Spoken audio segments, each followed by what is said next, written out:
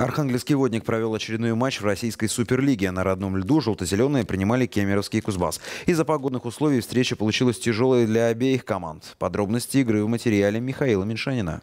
Встреча Водника и Кемеровского Кузбасса получилась игрой, где обе команды действовали вторым номером. Ставка тренеров на оборону и сильный снегопад сказались на результате первого тайма. Соперники обменялись голевыми моментами, подали 9 угловых на двоих, но забить не смогли. Игра шла до первой ошибки, и в итоге ее совершил водник. Во втором тайме Иван Козлов валит соперников штрафной, а назначенный за это пенальти реализует Вадим Стасенко. Отыграться в таком матче было тяжело. Снегопад усилился и темп игры еще упал.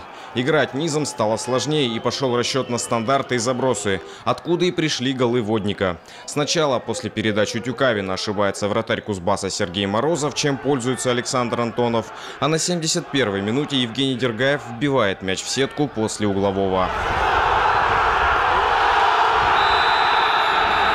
Удержать завоеванное преимущество желто-зеленые не смогли. Уже через минуту защитник кемеровчан Семен Козлов воспользовался неразберихой перед воротами Водника и сравнял счет. Больше команды не забивали. Самый яркий эпизод концовки случился на 90-й минуте. Голкипер Водника Михаил Шиляев, который вернулся после травмы, вытащил практически мертвый мяч из верхнего угла. До одной ошибки идет это... До одного момента, кто ошибется, тот и проиграет. Как бы вот в чем причина.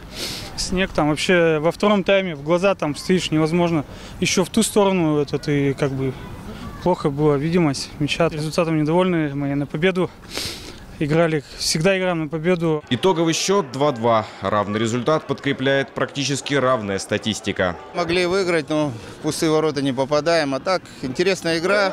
Правда, погодные условия не дали показать именно красивый комбинационный хоккей. Борьба была ну, результат закономерен. После семи матчей команда Николая Яровича набрала 10 очков и пока на седьмом месте в турнирной таблице. Следующая игра уже в это воскресенье. На стадионе Труд водник сыграет с Сипсельмашем. Михаил Меньшенин, Денис Линчевский, Регион 29.